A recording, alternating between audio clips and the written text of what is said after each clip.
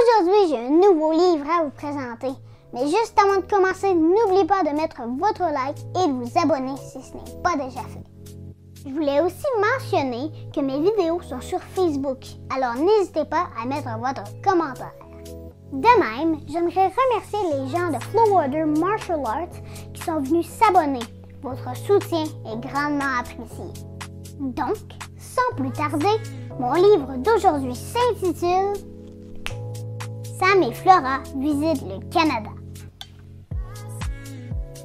L'auteur du livre se nomme Madame Chantal Michaud. Et sa fille, Élie Villeneuve, est l'illustratrice. De plus, je désire mentionner que c'est Sarah, la petite sœur d'Élie, qui a eu l'idée pour la série Sam et Flora.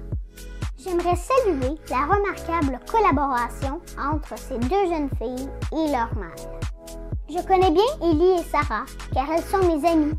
Ellie pratique le Jiu-Jitsu avec moi dans le dojo de la communauté. Et je vois souvent Sarah quand Ellie et moi débarquons de l'autobus.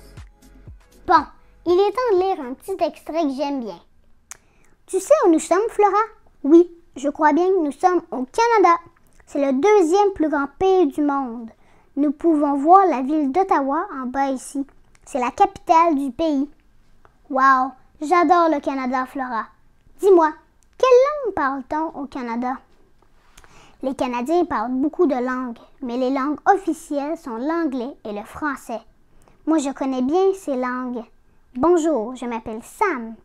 Hello, my name is Sam. Euh, oh, je commence à disparaître. Oui, moi aussi, Sam. On se voit bientôt dans un autre pays. Au revoir, mes amis. Goodbye, my friend. J'ai bien apprécié ce livre car on découvre la faune, la flore et la géographie de notre magnifique pays.